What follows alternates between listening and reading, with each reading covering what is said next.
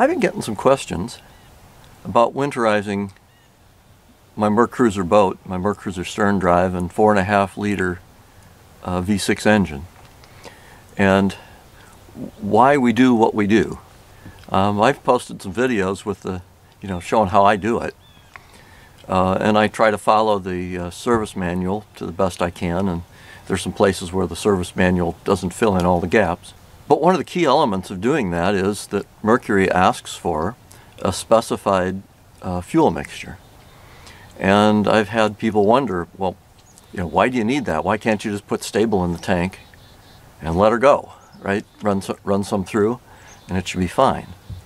So um, there are kind of two things I want to talk about today. One is winterizing and why we do it and, how, and so forth.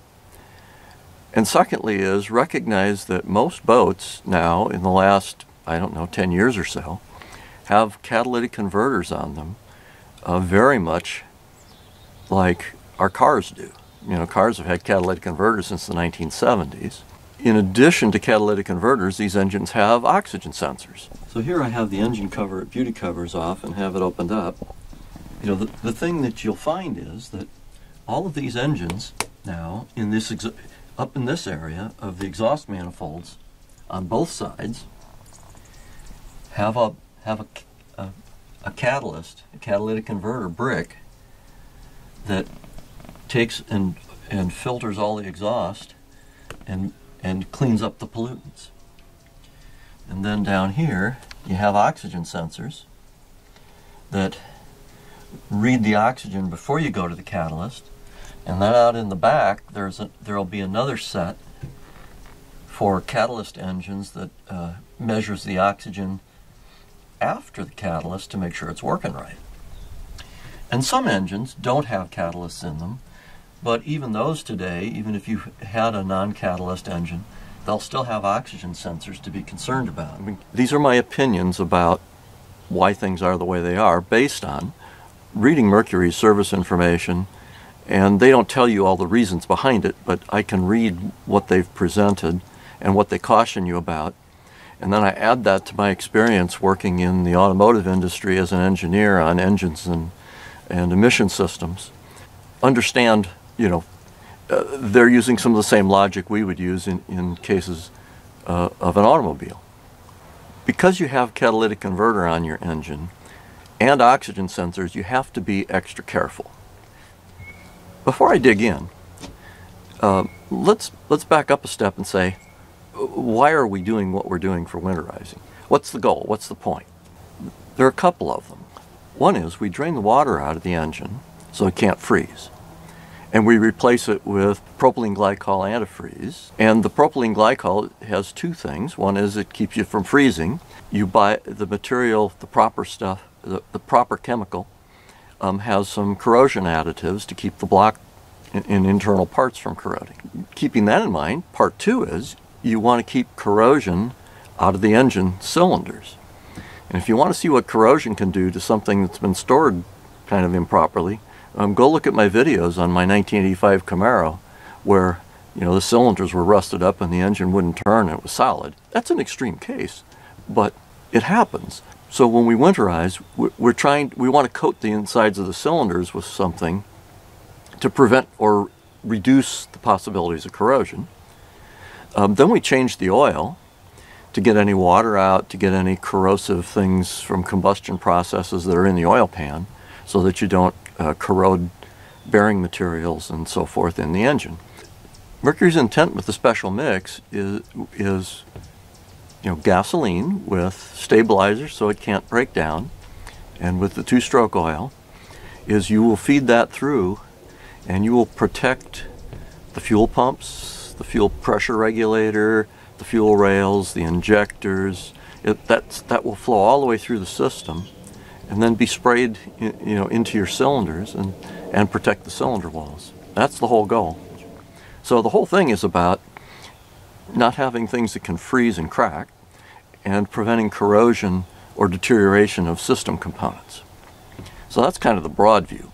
So in the olden days, on my 98 MerCruiser 305 carbureted, um, you take a 12 ounce aerosol can with a spray nozzle on it, and you'd spray down the carburetor throats. You can go watch my, I've got a video on, you know, on doing that. But you could spray fogging oil in it, and what happened is the engine would chug and run rough, but a bunch of that oil would flow through and end up in the cylinders and coat the cylinder walls so that they would be less likely to corrode.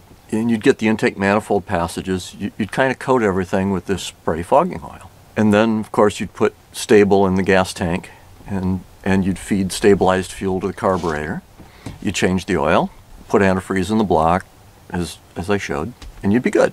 Now, the challenge is on the new engines with port fuel injection and with oxygen sensors and with catalytic converters, you got to do something different. Now, Mercury starts right off with a warning in the front of the service manual about never spray anything into the inlet of the throttle body. Not carburetor cleaner, not fuel injector cleaner, not anything because of the potential of damage to the catalytic converter and or oxygen sensor. On this engine, the air intake is in the back and Mercury will caution you never to spray anything in that inlet. If you need to like clean fuel injectors, uh, you would need to you, you would need to put something in the fuel and run it through the system so that the system operates normally with that cleaner in it. And I'm not recommending that you do that, but just, just be aware that that's how that should work. And, you know, an oxygen sensor looks like, um, it sort of resembles a big spark plug, but it has a ceramic element on the end that sticks down into the exhaust stream. And that element uh, changes voltage depending on whether the mixture is rich or lean, whether you have excess oxygen or not enough. And those things are very sensitive. One, they can be poisoned by certain chemicals. Uh, silicone is really bad. Um, I understand fiberglass isn't much better, Fi fiberglass dust, out of which you get in boats if you're not careful. Uh, but you can, different chemicals will poison the oxygen sensor and cause it not to work. And if it doesn't work, you'll get a check engine warning or a, a, a, an engine fault and you'll have to get it replaced. Second is the catalytic converter. And catalytic converters in general, cars or boats, doesn't matter, are very, very sensitive to um, excess hydrocarbons in the exhaust stream. And hydrocarbon is gasoline, hydrocarbon is oil, it's any liquid fuel that will burn. And what the catalyst does is, again, I've got a video out there on what a three-way catalytic converter looks like and what it does. But for today, uh, the main section that you're worried about is there's something called an oxidation catalyst. And its mission is to take that unburned hydrocarbon and oxidize it into carbon dioxide and water. And as it does that, it releases heat, just like if you're burning the same fuel in the engine. The catalyst is designed to deal with excess emissions out of the cylinders in the engine as it's running. But if you overload it with too much fuel, it will get really hot. And the temperatures in a catalyst can be 1500 to 2000 degrees, maybe beyond. And it's a ceramic. You'll literally melt the ceramic and destroy the catalyst.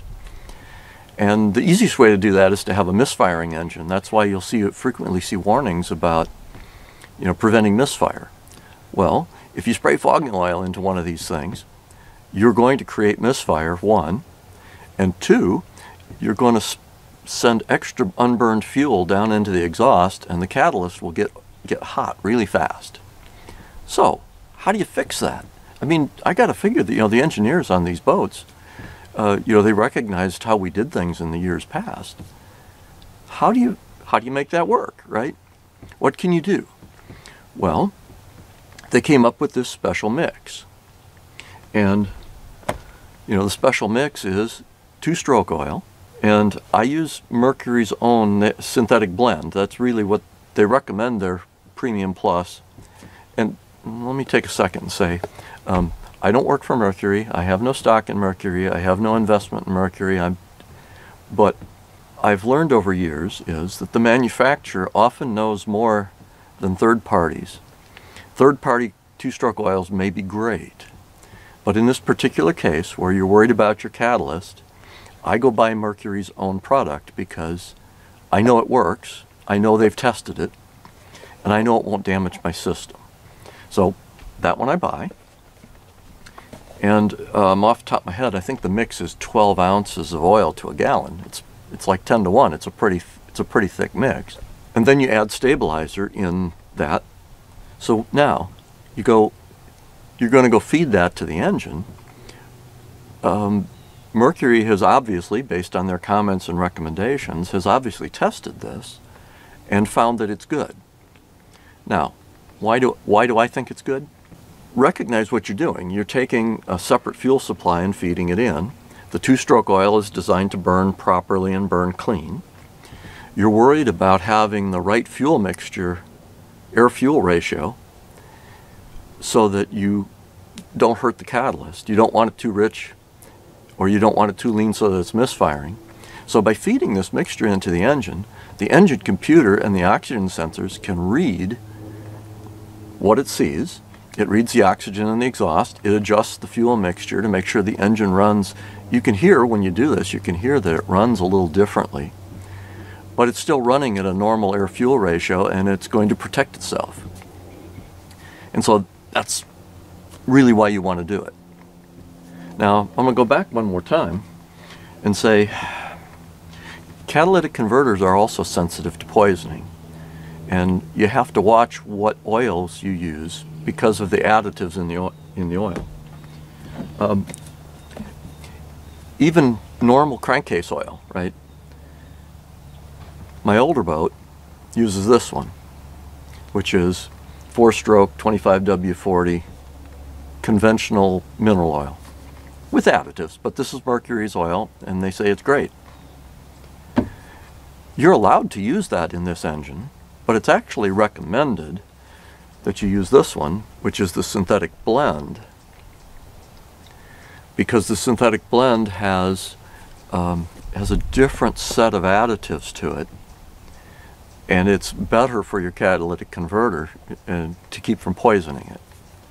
Because catalysts, and we learned this years ago in, in automobiles, um, the additives, the anti-wear additives in the oil will, um, the phosphorus and the zinc in particular, some of these metal compounds um, will coat the catalyst and cause it not to function properly and not to clean up emissions, which is what it's there for. So again, if I buy Mercury's two-stroke oil, I know that they're confident that the additive package won't either poison the oxygen sensor or poison the catalyst. Now beyond that, if you want to see what a catalyst looks like, here I'll show you a picture. This is one out of my Camaro, and you can see the holes in the honey, uh, called honeycomb in the ceramic brick. It's a good example. Um, next, here's a picture of an oxygen sensor, and you can see the element. The element is sensitive to, to impurities like silicone.